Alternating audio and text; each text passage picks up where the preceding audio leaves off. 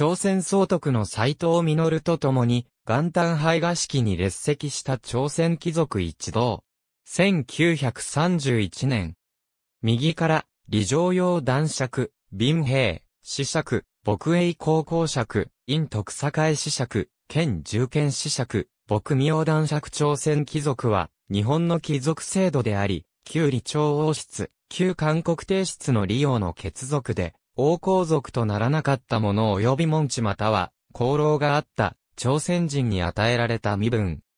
1910年の日韓併合条約第5条、及びそれに基づく朝鮮貴族令によって設けられたもので、1947年5月2日、皇室令第12号によって廃止された。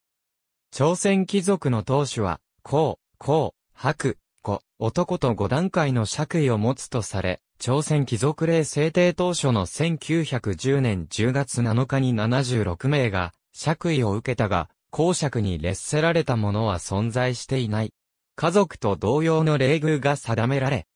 叙位、世襲財産の設定、学習院への入学などについて、華族と同じ特権を有した。一方で、貴族院議員の有爵者議員となる特権はなく、東京在住が義務付けられておらず、朝鮮半島居住が可能であるなど、家族とは異なる扱いもあった。朝鮮貴族の属称を受けられる者は、当主とその配偶者、相続人とその長子、当主の父、祖父、曽祖父、またそれらの配偶者と、元当主の未亡人と規定されていた。朝鮮貴族は創始解明しない絵が多かった。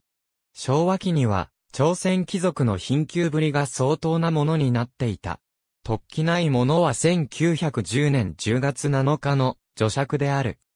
朝鮮貴族のうち、1905年の第二次日韓協約の手助けをしたとされている閣僚の5人が、韓国では、木の富ご族と呼ばれ、現代でも親日派として批判の対象となっている。